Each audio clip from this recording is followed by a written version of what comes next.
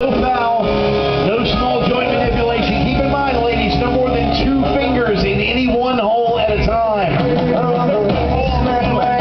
That does mean that two, two in the toy box and two in the booty are okay as long as it's separate hands. Okay, I'm just saying.